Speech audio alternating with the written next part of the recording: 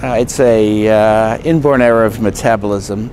Uh, it's uh, a metabolic bone disease that affects children uh, as well as adults.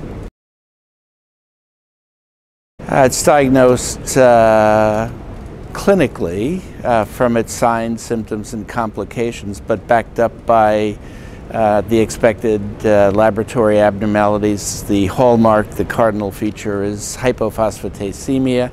That's a low serum alkaline phosphatase activity and usually matched by the accumulation of natural substrates for alkaline phosphatase, including uh, a form of vitamin B6. Can be diagnosed uh, also uh, by mutation analysis.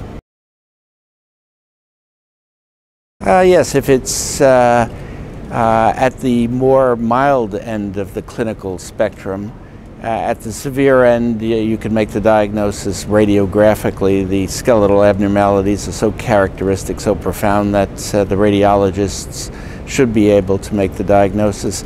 But at the mild end, it can be confused with um, uh, things like osteoporosis or maybe vitamin D deficiency, soft bones, that sort of thing.